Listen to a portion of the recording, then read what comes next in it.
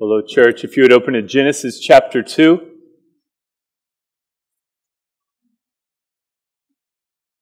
Genesis chapter 2, uh, we will look at just verse 24. The most important marriage verse in the Bible. Genesis 2:24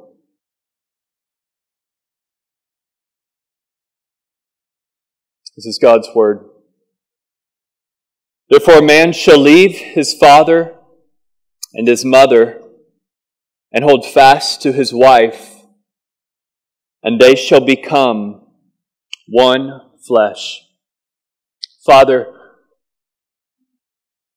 we just pray over this mystery of marriage, this glorious institution that you created We need you to help us today because everyone here has heard of marriage, everyone has ideas of marriage, and we need all those ideas to be exalted. All the true ideas, that is, Lord, all those things that are right and good and true and pure about marriage, Lord, that you would exalt them, that you would remove all lies, and you would begin to renew our minds uh, regarding this marriage institution, Lord. We pray that you come and help us today in all the ways that we need to be helped, uh, in every way that every husband here or wife here needs to be helped. We pray that as you, as the helper, would come and, and supply that help. Uh, do it through the preaching of your word, we ask. In Jesus' name, amen. Well, we begin today a, uh, a marriage series and I want to just clarify a few things uh, from the beginning. Uh, this is not a series where uh, we've sat down or I've sat down and just kind of listed out some important things that I think we should discuss about marriage. Um, this is what we might call an expositional series on marriage because the goal is to take uh, everything that the Bible says about marriage from front to back, at least the primary passages, and look at those in their original context and while that, why, why that's important is because the Bible doesn't just give us what we might call propositional statements about marriage. You know, do this, don't do this. Um, the Bible uh, gives us a diversity of literary genres uh, in which to understand marriage. So we have historical narratives, we have poetry and proverbs, we have New Testament epistles, um, we have even uh, apocalyptic literature in which to understand marriage. And, and we're going to look at all those different literary genres. Uh, we're not in a hurry in this series. Uh, I don't intend to move us quickly through this. And I want to actually give a few reasons why uh, we will move slowly and, uh, and linger on this topic of marriage for a number of weeks. I think the first thing that I would want to remind us of is that we've never really studied marriage in depth as a church. Um, we haven't. In, in, 16, almost 16 years as a church, uh, we've never taken a real in depth look at marriage. We did a four week series back in 2015. We've done kind of one off sermons on marriage here and there. Uh, it feels to me like we've studied marriage a lot more because I do a lot of marriage counseling or pre marriage counseling and weddings and these, I talk about these things, but in terms of a corporate setting like this, uh, we, we just have not done uh, a very thorough study of this. I do think it's worth remembering that if we lived 100 years ago, we probably wouldn't do a series as long as we're going to do. Um, but we don't live in those days. We live in a day in which it's very uncommon for people to come from healthy families. Um, it once would have been the case that you would have grown up and seen a healthy marriage with your parents, probably your grandparents as well, and most others you knew would have had some sort of healthy structure uh, to their marriage. Uh, there would have been some intentionality from Christian parents to teach those things to their children. But in our day, even in Christian contexts, dysfunction, divorce, uh, plague families. And so many families that have even been married or couples that have been married for many years many, many years even, can still be very confused as to what a healthy, God honoring marriage even looks like. Um, and so the reality is that what's going on outside of the church regarding marriage is affecting all of us more than we realize or would want to admit. Um, the, the subtle or not so subtle ways that marriage is being devalued and rebelled against um, are affecting us and have affected us. And, and we need a, a, good purging of our minds of, of a lot of those things and a restoring and renewing of the mind regarding the sanctity and the glory of marriage if we're going to honor the Lord in this. And I, I, think that's actually our best apologetic for the culture, for a culture that's confused about gender and sexuality and marriage. The best apologetic we have isn't railing at everybody about how wrong everything is. There is a place uh, for that, but that is not our primary objective. Uh, our primary strategy is to, I think according to Ephesians 3, it says that through the church the manifold wisdom of God might be displayed. So that through the church's marriages, the wisdom of God would be displayed to the watching world, and they would say, It works like that. That that's something I haven't seen before. Um, and, and so we, we must go back. And, and here's, you know, any of us who've studied marriage biblically, I think the primary thing that we've noticed is that marriage is primarily a way to display the truthfulness of the gospel message. That's primarily what it's about. Um, it, it, it is not just a, a, way to not be lonely in life or to, uh, to, to, to vent certain desires uh, that people naturally have. It is a way to proclaim the gospel and make much of the gospel to the culture, to the church, to our children. Uh, the Bible says in 1 Peter that the church is the pillar and buttress of the truth. That, that is the truth of the gospel. And marriage is a primary way that we make the truth of the gospel clear to our offspring, to the church, to the world. And, and, and anybody who's taken the Bible seriously uh, on the topic of marriage has come to that conclusion. And so here's, here's what happens. Either we, in our marriages, are accurately embodying the headship of Christ and the submissiveness of the church, or we are misrepresenting and misteaching that. Uh, we're, we're doing one or the other because that's what marriage is to portray. You're either portraying the gospel accurately or inaccurately. You're either sending the right gospel message to those around you or you're sending the wrong gospel message to those around you. And I fear, I fear for the church at large, but even our church, that in many of our marriages, we may be sending the wrong gospel message. And the wrong gospel message is a false gospel. And our marriages can distort the gospel even if you're teaching it through words another way. You can contradict it through your marriage. And so here, here's why I say all of that. Because when we're studying marriage and when we take this long to study marriage, we're not just studying marriage. We're studying the gospel. And we're not just studying the gospel uh, we're studying the very character of God and His covenant faithfulness to His people. And we're not just studying, when we study marriage, uh, the character of God in the gospel, we're also getting a solid ecclesiology, that is, uh, a theology of the church. Uh, what Christ is to the church. Uh, we're getting an anthropology, that is the doctrine of man. What is a man? What is a woman? Um, I, I, don't think everybody, every man or woman, every single man or woman has to be married. I don't think the Bible teaches that you have to be married. But I don't think you can actually rightly understand what a man is or what a woman is aside from marriage. I don't think Genesis 2 allows for that. And so studying marriage gives us a correct anthropology. And then, even in parenting, we've spent all of last year, a lot of last year, studying parenting. And what, what is one of the primary things we want our kids to see in their mother and father? We want them to see a love for God and we want them to see a love, how to love their neighbor. Those, are, those should be the two primary things we want our children to see in us. And who is the primary neighbor that I'm called to love? My spouse.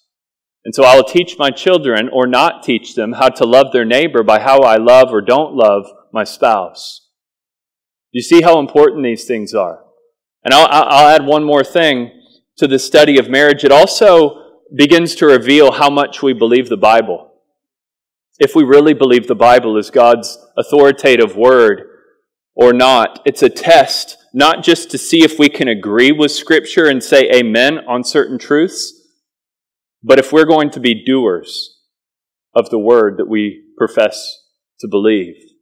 And I've seen many times over the years people who will amen and affirm and believe all the right things, and they'll condemn, especially in culture, all the wrong things, but have this inability to look in the mirror of Scripture back at themselves, especially related to marriage. And there's a high level of deception that can exist. That's why taking week after week for a few months and just looking at marriage, husband, wife, husband, wife, husband, wife, and then sitting there under that begins to do something to us. It begins to expose something about our hearts. Do I really believe God's word? R- related to the role of a husband, related to the role uh, of a wife? Or am I someone who humbles myself under the word of God and changes even things that may, may need to be changed? Or am I someone who hardens my heart, maybe even affirming or saying amen, but going home and ignoring these things? And so let me just give a warning here. Um, there will be things that we study in the, in the coming weeks that you will be tempted to say, Pastor John Mark is going too far with that. Uh, he's taking that too far. Uh, you will be tempted to, uh, to, to say things like, uh, that's his opinion. Um, uh, of course, he would say that. He's a man. Things like that. And you know what? It's possible that as a human man preacher up here, I could say things that are just my opinion. And that's why I challenge you to bring your Bible and to test every single thing that I say and make sure it accords with Scripture. Um, I, I challenge you to fact check me, to use the original source material on marriage and make sure that what I'm saying isn't my opinion, but is in fact the very Word of God. Uh, that is necessary because there, there's always two dangers when you're listening to preaching. Uh, one of those is gullibility, that you would just respect a, a, preacher who's preaching or be too lazy to study it out yourself so you just believe it. Uh, or cynic, cynical spirit. Uh, a cynical receiving of the word. What do I mean by that? I, I mean that you're not really listening for truth, you're listening for errors. There's a difference. There's a way to listen for truth, and you can spot errors, but you want the truth because you want to obey the truth. And there's a way to listen for errors because if I can find something, I don't have to obey anything. And, and we need to be very careful about how we hear these things. And, and a qualifier uh, as well that I'm going to I'm going to say that I don't think I should have to say, but, but maybe it's necessary. Uh, I hope you won't think that I'm standing up here as some sort of uh, marriage expert, that I put myself up here as some sort of marriage uh, expert. I, I, I don't think the job of the preacher is to be an authority on marriage, but to repeat what the authority on marriage has already said. Uh, that, that is my, uh, my goal. And a, a mentor of mine once told me that some men talk well about things that they're not good at, and other men uh, are very good at things that they can't really explain well. And I'll tell you, there's men in this church who couldn't stand here and talk very long about what the Bible says about marriage. They might struggle to explain things, but they can do it.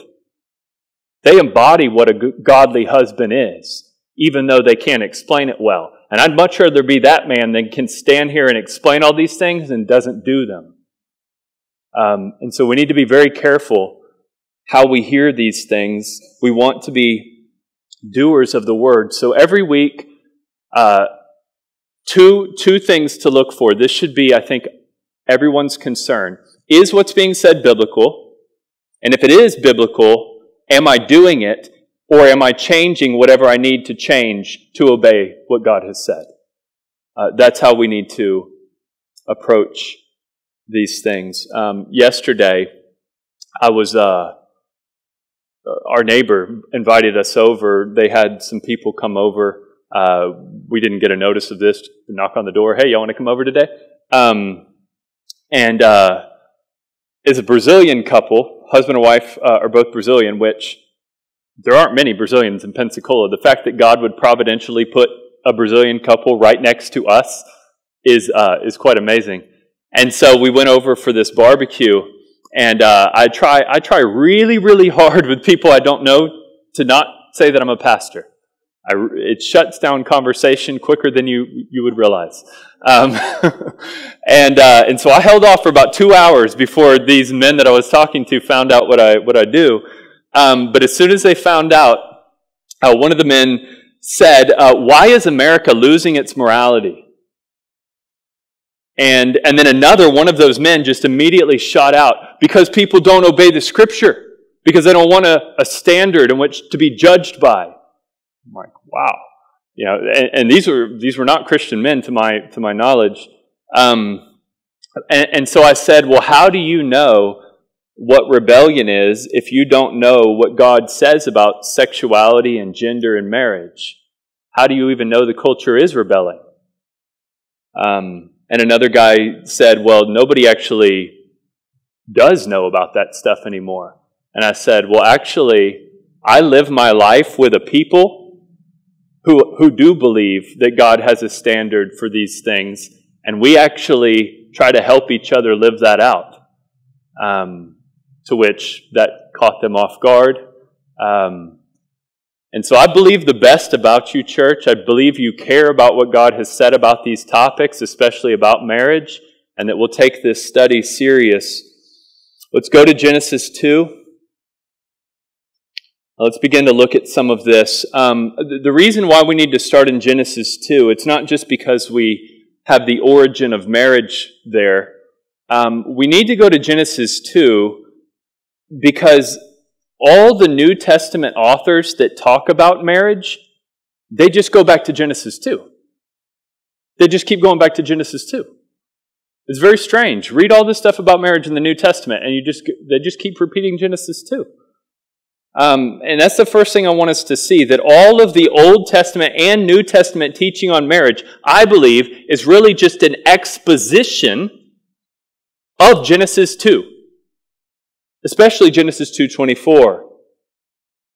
And nobody taught more about marriage than Jesus or the apostle Paul and they just keep going back to Genesis 2. It's like it's their interpretive approach to the topic of marriage. So let's start with Jesus on marriage. So uh, there's a passage John 9, or I'm sorry Matthew 19 and this is now, he's talking about divorce, and my goal in this sermon is not to get into that. We will get into that in the future. Um, but I don't want to look at what his view is, but how does he come to his view? How does Jesus come to his view? Matthew 19, 3, the Pharisees, you remember, they're trying to test him. Uh, they're asking, is it lawful to divorce one's wife for any reason? And listen to what Jesus says. Have you not read that he who created them from the beginning made them male and female? And then he quotes Genesis 2:24. Therefore, a man shall leave his father and mother and hold fast to his wife, and the two shall become one flesh. And then he explains it. So they are no longer two, but one flesh. What therefore God has joined together, let not man separate. So do you see how Jesus is answering the marriage question? He's going back to Genesis 2:24. He's going back to uh, the origin of marriage. And then they come up with actually a very legitimate question. They say, well, if that's true, Jesus, then why did Moses allow for divorce in the law? Which is a very good question. And then what does Jesus say? Because of your hardness of heart, Moses allowed you to divorce your wives. But from the beginning, it was not so. It's really interesting. Two important things Jesus is doing there. One, he's treating Adam and Eve as real historical figures. Number two, he's treating their marriage as the foundation and source for all other marriages, the standard by which we would judge all other marriages. So the Pharisees say, Is it lawful to divorce for any reason? Jesus says, No, because the original design did not allow for that. The Pharisees say, Well, why would Moses allow for divorce? And Jesus says, It's because of your hardness of heart. From the beginning, it was not so. That seems to be the interpretive principle Jesus is operating under. Um, he's showing that behind a particular, uh, we could say, prohibition or a command, we see God's original intended purpose. Let me give you some examples of, of how this might apply. Take the issue of transgenderism. Transgenderism is wrong. Why? Someone may say, well, it's biology. Well, no. Uh, yes, but, but no, not ultimately. Uh, it's because God made male and female. That's it. Because God made male and female. That's the answer. That's why transgenderism is wrong. Homosexuality isn't marriage. Why? Is that is it legal reasons? Whether it's legal or not legal? No, laws change.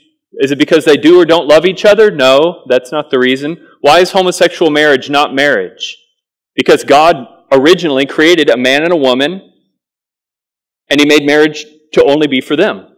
There is no definition of marriage apart from a male female monogamous covenant relationship. Anything other than that is, is not marriage. You can call it something else, but it's not marriage. Take the issue of polygamy. This isn't popular yet, yet, uh, in, in America, but when people start talking about that or they start talking about marriage to animals or robots or other things like this, what's our answer? Our answer is Genesis 2:24. In the beginning it was not so. That's, that's our answer to all of these other things. Now, somebody, somebody would, uh, a skeptic may say, well, why do we see Solomon or David in polygamous marriages with all these wives? What is our answer? In the beginning, it was not so. God didn't command them to do that. That was not the original design. And then again, back to the issue of divorce. Divorce is bad. Why? Because it harms kids? Because it's expensive and messy? No. Because God said they're no longer two, but one flesh. According to the original design, it was not so. Now listen to how the Apostle Paul does what Jesus did regarding marriage. Ephesians 5:31. A man shall leave his father and mother. Paul's quoting what? Genesis 2:24. A man shall leave his father and mother, hold fast to his wife, and the two shall become one flesh. Now he explains this as a mystery that's profound, and I'm saying that it refers to Christ and the church. So he says marriage is about Christ and the church. How do we know that? Because it was hidden in seed form in Genesis 2:24. Not fully revealed yet, but there. Now, he takes this beyond marriage, Paul does, uh, to women's roles in the church. 1 Timothy 2.12 says, Let a woman learn quietly with all submissiveness. I do not permit a woman to teach or exercise authority over man. Rather, she is to remain quiet. Why? For Adam was formed first, then Eve, and Adam was not deceived, but the woman was deceived and became a transgressor. So I'm not going to, I'm not trying to get into this issue today. That's not the point. But just to show you how Paul comes to his conclusion. Why would you say women aren't to teach and to have authority in the church like this? What's your reasoning for that, Paul? Genesis 2 is the reasoning for that the, the, the, the making of the man first and the woman from the man, that there's something in that that applies even to the church. Adam was formed first, then Eve. And again, I'm not asking if you agree with that at this moment. I'm just trying to get us to see that's how the scripture argues. That's how the conclusion is arrived at. Here's another example uh, to the church in Corinth 1 Corinthians 11. This church, again, church in Corinth, I mean, very confused sexually regarding gender, authority in the church. Uh, most were Gentile converts. They came from a very progressive pagan city. They didn't understand this stuff. And listen to the teaching on authority structures and hierarchy in the church. And I understand there's a context to head coverings, but that's not the discussion today. Uh, but listen to the argument behind it for the creation of authority. 1 Corinthians 11:3. He says, "I want you to understand that the head of every man is Christ, that the head of a wife is her husband, and that the head of Christ is God." Verse 7. For a man ought not to cover his head, since he is the image and glory of God, but a woman is the glory of man.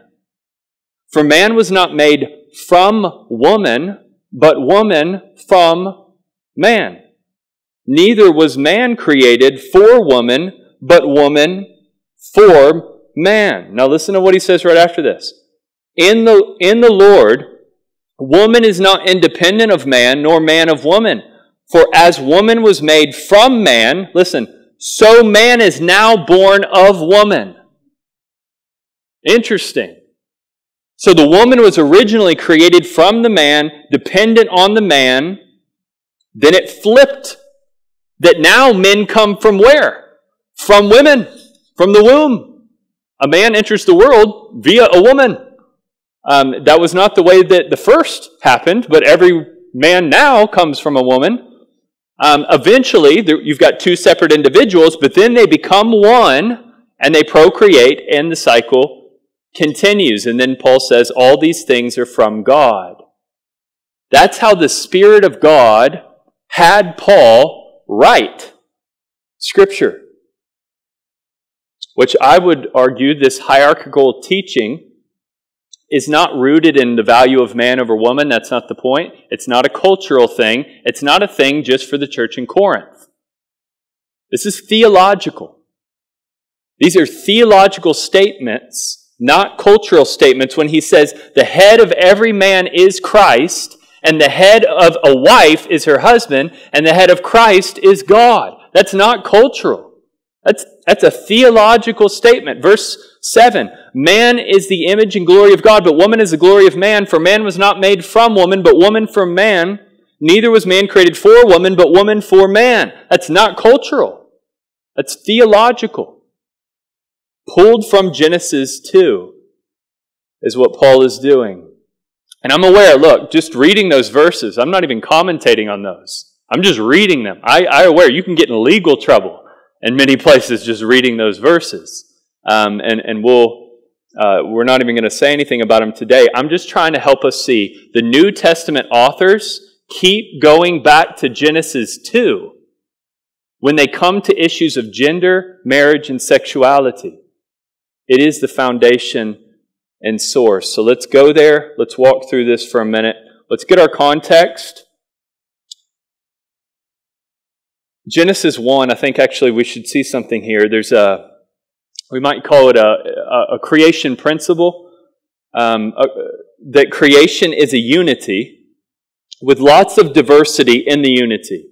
I want to build that out for a second. It'll make more sense as I go through this. So in Genesis 1, God creates light and then what does he do with light? He separates the light from the darkness. And that separation is good, it's not bad. God made the sun and moon and he separates the light from the darkness and it's good. God separated the earth from the water and it was good. He separated fish and animals and birds, all these things from their kind, and it was good. He, the, he creates a unity and then he separates. And that's a principle built into creation that makes more sense when you, when you begin to think deeper on this. So, for example, a lot of people have thought deep on this. You go back to the classic philosophers, the Aristotles, the Platos, the, um, the, the uh, Socrates. And one of the big things, if not the biggest thing that they struggled to, they wrestled with philosophically was, how is there so much unity and diversity? And what is the interplay between unity and diversity? That, that's baffled the brightest minds to, to ever live this, this tension between unity and diversity. How can things be so similar, yet at the same time so diverse? And look at it in the creation of humanity. Genesis 2 7. The Lord God formed, formed the man of dust from the ground and breathed into his nostrils the breath of life, and the man became a living creature. The Lord God planted a garden in Eden in the east, and there he put the man whom he had formed.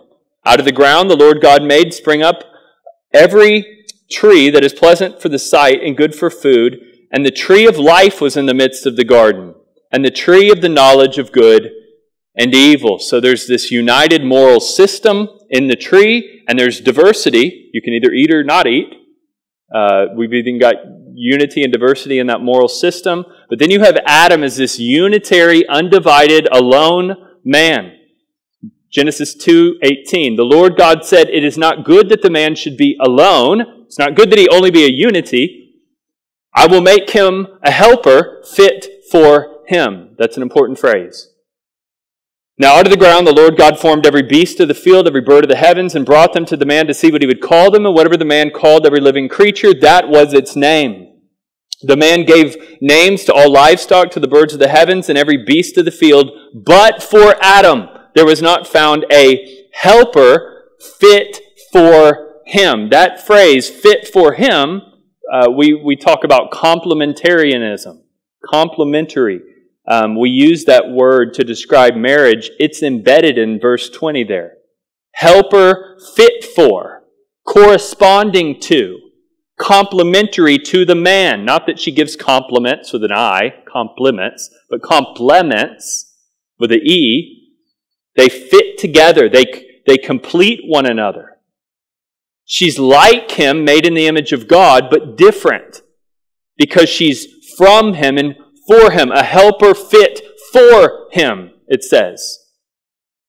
And even at the DNA level, we can see the sameness with diversity in genders. So man and woman are a unity that we both have an identical number of chromosomes, for example.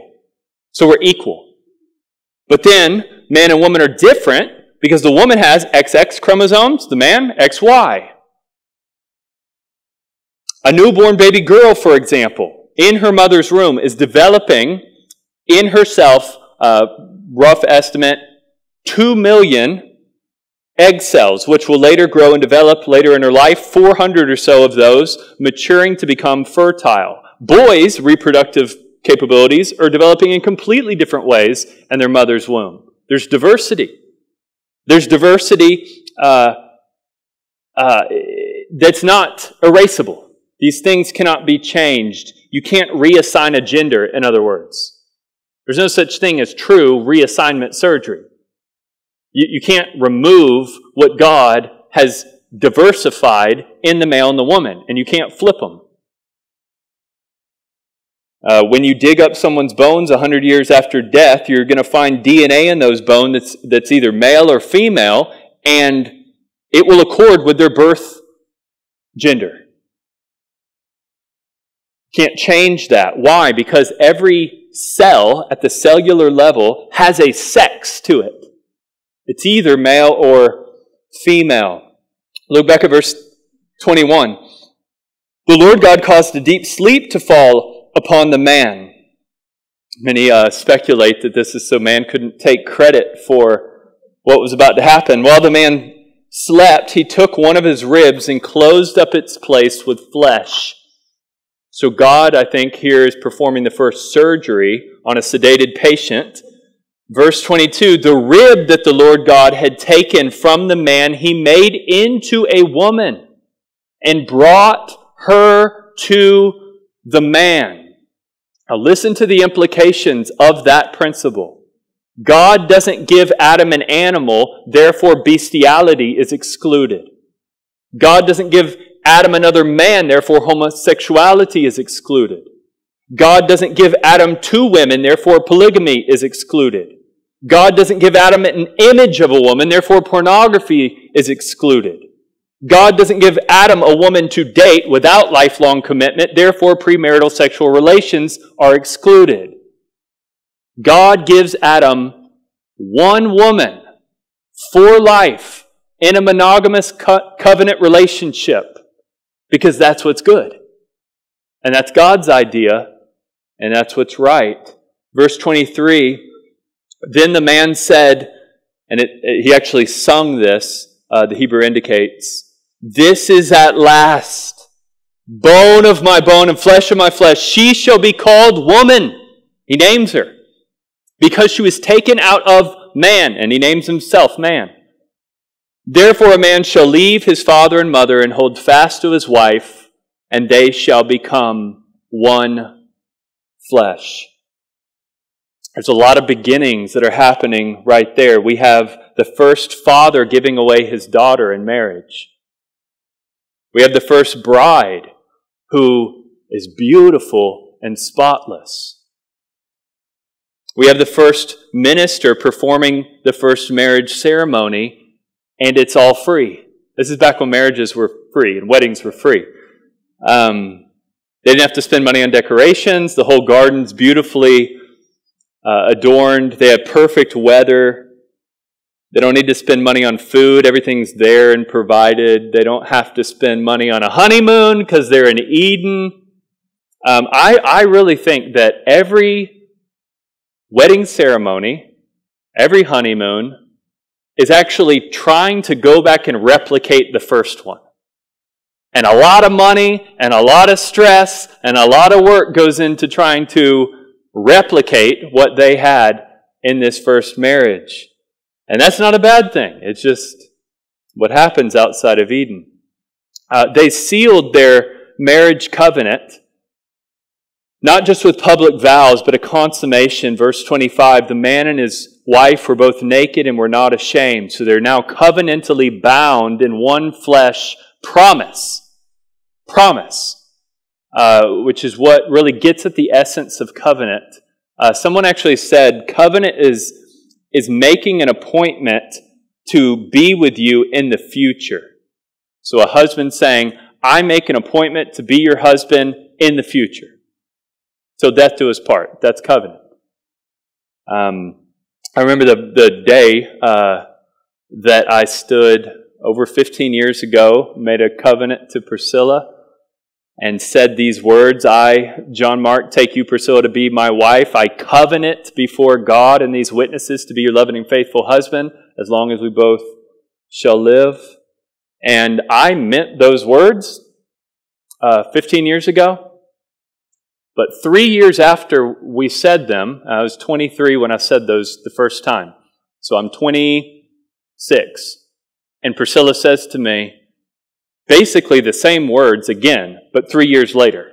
And it was just a random conversation. I don't remember what provoked it. We're just sitting somewhere, and she says, You know, no matter what you do, I'm not going to leave you. That landed very different three years into the marriage because we'd had fights and she'd seen sin. And, and, and, and all the, the parts of me that in our dating context can be hidden aren't hidden once you've been married for three years. And then to say those vows, they're the same vows, but they land different. That's, that's the power uh, of covenant.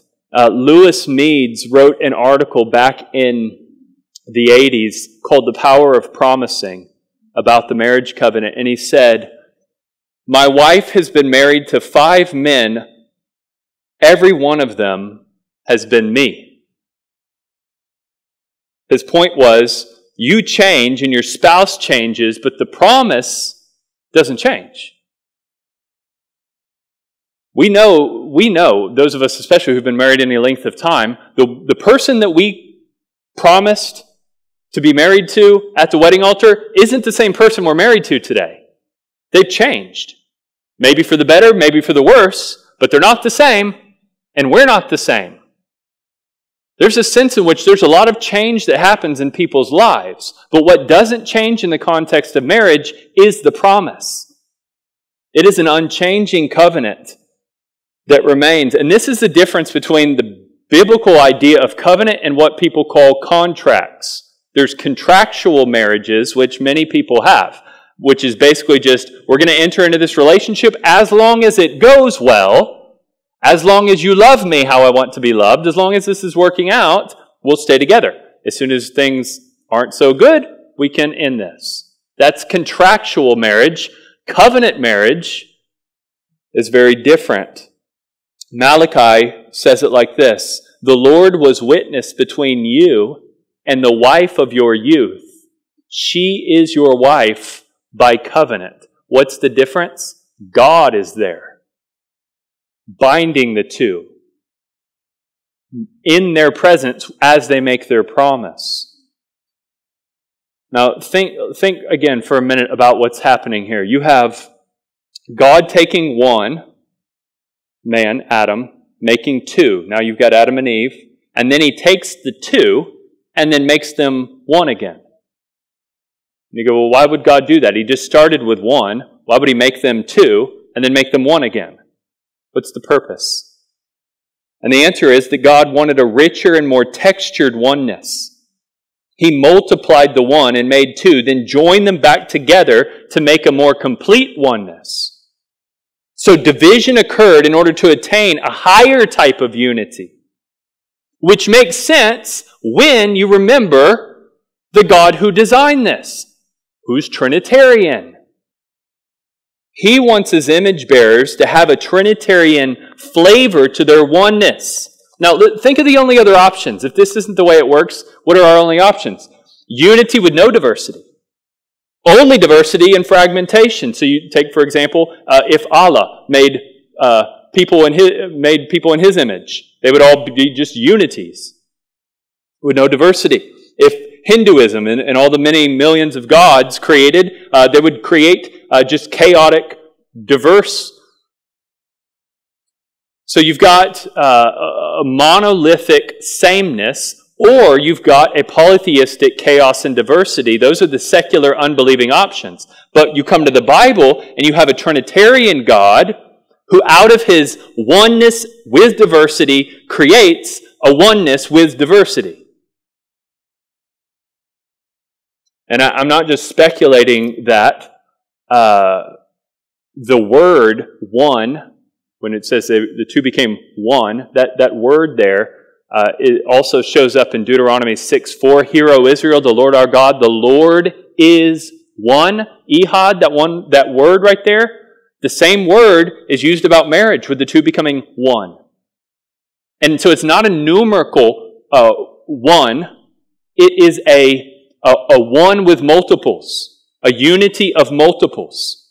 The same word used for Trinity with one is the one flesh marriage, so a unity of multiples. Genesis 1:26, let us make man in our image, Trinitarian, after our likeness. And it goes on, so that God created the man in his own image, in the image of God, he created him, male and female. He created them. And there's a weird verse uh, that I've been thinking a lot on for years. Many people don't even think about this verse. It's a very strange verse in Malachi 2, uh, verse 14 and 15. But listen to this She is your companion and your wife by covenant. Did he not make them one with a portion of his spirit in their union? And I've read many, many, many commentaries on that over the years. And nobody seems to understand what it means that he gave them a portion of their, of his spirit in their union. And I'm not here to solve that conclusively right now, but it is interesting that it says it took two, made them one in covenant, and then gave a portion of the spirit. That's a threeness. Two bound together with the Trinity, with a portion of the spirit. Like Proverbs, a cord of three strands is not easily broken. Christian husband, Christian wife, Spirit of God. Listen to Richard Cogan uh, said this The doctrine of the Trinity, which Jesus and the Scripture endorses and teach, also profoundly affects Christian marriage. The Father, Son, and Holy Spirit live in a permanent, plural, equal, complementarian, ordered, and loving union. Since we are created like God, we thrive in marriage relationships that, or, that mirror his Trinitarian union. Since God is permanent, he designed for us to have lasting marriages, not divorce. Since God is love unconditionally, he designed our marital love to be unconditional. Since God is triune, he designed marriage of intimate companionship to counter loneliness. Since God is three equal persons, He designed marriage in which husbands and wives are equally dignified. Since God is diverse and, complement, and complementary, He created husbands and wives to reflect that, diver, that diversity and complementarianism. And since God is Trinity, He ordered the Father and the Spirit, or the Son and the Spirit to gladly submit to the Father. He designed uh, all human relationships with this, including marriage, with an authority to be exercised lovingly and a submission to be given willingly. End quote. So, practically, uh, here's how this matters. It says he will make a helper, helper, Many people think that sounds really derogatory. Well, not when you remember that the Holy Spirit is called helper. Equally, uh, one of the Godhead with the Father, the Son, and the Spirit, yet taking on willingly the role of submission. You see how the Trinity helps us see the sameness or the unity uh, with diversity. Uh, one theologian said something a little provocative if you don't understand what he's saying. He said, Never are we more like God than when we enter into a covenant marriage. Now, what he's not meaning is that morally we just become very Christ like just because we get married. We all know that's not what he's saying, or he's wrong. What he's meaning is the nature of our relationship in marriage, that two become one, is very similar to a triune God where multiples are one. There's a likeness that we display in our marriages that is like God's. Guys, look, marriage is very sacred. I hope we're just beginning to feel this thing is way bigger than just, I hope my spouse starts getting along with me, does all the stuff I want him to do. all right? Uh, it's going to be many weeks before we even get to that type discussion. This is profound. And all I'm trying to do in this series is basically just lay the table for us and, and, and, and two categories for us to see. There is a, a unity that God creates in marriage, a oneness that is so deeply profound, you have to begin to compare it to the Trinity. And then there's a diversity that beautifully is displayed in marriage that you have to begin to display, uh, compare it to the Trinity. You, you feel that there's some massive amount of glory and sacredness in marriage that I think we have lost in many ways. Um, I want to move us to the table and try to give us a thought to connect marriage to the table. Um, next week, we're going to get into, I think I'm most excited in this series about next week's sermon, because want us, I want us to see how the whole Bible is really a story about marriage. Um, when you start in Genesis, you see marriage. Genesis 2, we're seeing marriage. And then when you get all the way to the end of the Bible, Revelation, those last three chapters of Revelation, marriage. And what is happening in that last marriage? You have a wedding supper of the Lamb. Christ and his bride together for a meal, a wedding feast. I want to just submit to you that this is a preparatory meal for that one. We, have talked about this. There's something more mysterious happening at this table when we take this by faith between us and Christ. There's a communion between the bride of Christ and Christ at the table. Why? It's a preparatory meal for a coming marriage supper between the bride of Christ and Christ Himself.